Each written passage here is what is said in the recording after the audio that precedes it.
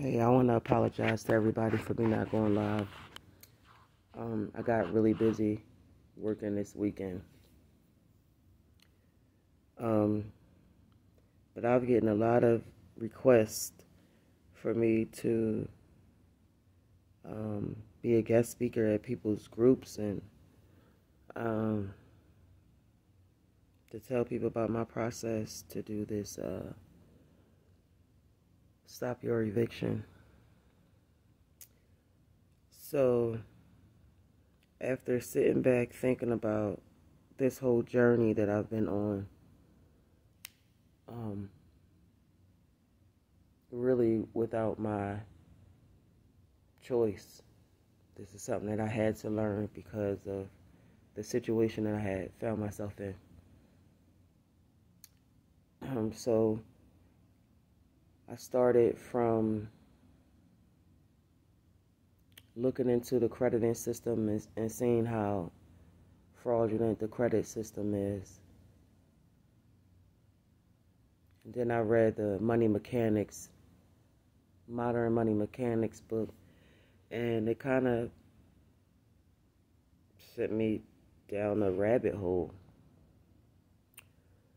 But after learning that we pay for everything when we sign for it, um, I just couldn't, in good conscience, just keep paying rent. So we had a goal to get out of our car and get us an apartment. And the goal was to get into the apartment, pay the rent for two months, and then start a process an administrative process. So we did that. And it worked. At first, my husband was really put off by me gambling with the fact that we could possibly be homeless again. But when you know what you know, it don't matter how many people tell you it's not going to work. It don't matter how many people call you stupid or a scammer. It don't matter how many people tell you you're just a lazy person that don't want to pay your rent. It don't matter. It's up to you. If you want to keep being a slave, then that's on you. But I, I was born knowing that I'm not doing shit. I'm not working for nobody. I'm not paying nobody shit. And if y'all really watch my YouTube channel, you can go back five years and I've always said the same fucking thing. And that was way before I learned all of this. Um, I can give y'all breadcrumbs and puzzle pieces for y'all to go and look up what you need to look up. But I'm not telling nobody for free what I did, the procedure that I did. I'm not doing that. For the last five years, I've given y'all nothing but free information of all my experience. I've I've taken y'all literally with me and my camera to all of the things that I experienced. Um, I've taught y'all about the spirit world, the financial system. I taught y'all the strategy in seven days, and most people don't give a shit about my strategy or the seven days. So if you don't care about what my plan is to to get all of the men out of prison so that we can get back on track, um, that's cool. I can have my agendas and you can have yours, but I'm not I'm not just helping y'all no more for free. So I can't do none of your your classes and and give uh, people my process for free. I'm not doing that. But I did post last week on my social medias that I will be doing a class on the proper way to get out of your eviction, what papers to file, and which process to do. I will tell you all of that. But my class is $150 and it's going to be February the 11th at 2:11 p.m. Mountain Time. I felt like I had to do a video about this because I've never received so many telegram messages or social media messages in years. So I can't respond to everybody, and I'm not answering my phone because I'm working this weekend. So this is this is how I feel about this. But I will tell y'all this. To stop any legal matter, period, all you have to do is challenge jurisdiction. There are no real judges except for the Supreme Court judges. So if your landlord is willing to take you to the Supreme Court to sue you in eviction court, so be it. But as far as the county court, district court, and federal court, none of them judges have the legal right to make any kind of ruling over you because they're all all foreign entities. They are all foreign entities. I believe that um, if you go to martindale.com and you put your judge name in there, he'll come up with a ISLN number, I believe it's called. And that's basically a international immigration identification number. So Putin couldn't come over here and sit on the bench and tell me what to do. So neither can the judges that's in American court unless they're Supreme Court judge. So if you go straight in with your answer and you say you are challenging the jurisdiction to make sure that the the court that your this claim is being brought to you is in the proper jurisdiction. Nip that shit in the bud before it start. But you got to do that when it's in the time frame of you filing your answer.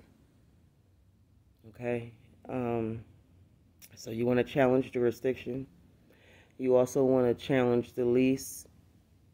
You don't want them to let the lease get entered into the court paperwork because that's you signing something. So if you can do whatever you can do to get them to suppress that lease, that's important. Um, you're going to have to research, you're going to have to read. Okay? If for you to understand money and how these applications work, you might want to go to the Federal Reserve um, Federal Reserve Board Federal Reserve. Okay, just look up Federal Reserve 16 and then read 1 through the rest of the numbers. And it'll explain to you the application system. So you want to challenge the jurisdiction, you want to challenge the lease. Um, if it's being brought to you, brought to court by a lawyer and or property manager, um, neither one of them were harmed by you, so they can't bring a claim against you. You're going to have to look into these laws. You're going to have to look into the um, Uniform Commercial Codes so that you can understand this stuff. So, the personal jurisdiction of the judge, challenging the lease, challenging the person bringing the suit. All of these you can do and get out of your eviction with no problem. You just gotta file it as soon as you get, as soon as you get the paperwork. File these things. Um, my class is going to be more in detail. I'm going to tell y'all which forms to put in and how to get around them if they try to get a default judgment against you. Um, because they will. I'm going to teach you how to fuck with the court system, the clerks, and a judge, make them scared. I'll teach you how to have the lawyer trying to sue you call you and ask you to help him do it. All of this come from me not giving up on myself. Even my husband doubted me. My husband had my kids thinking we was going to be homeless again because he did not believe that I was going to pull this shit off. And I had to say to my baby, you have to always believe in yourself. No matter what everybody else say to you or say about you behind your back, you always got to believe in yourself. And I know that what the courts are doing is illegal. It's racketeering. It's a crime. It's judicial misconduct. And I have proof that the clerks and the judges are in on it. They are working with the corporations to hurt us. Um, I have recordings for days of judges lying, clerks lying. I record everything. So just remember that if you ever want to try to set me up or or play me or steal from me, I record everything. So when we got the letter in the mail, I mean the email from the lawyer um, my husband said, Babe, read this. And I was like, No, he did. So my husband is so happy, like, oh my God, I can't believe that shit really worked.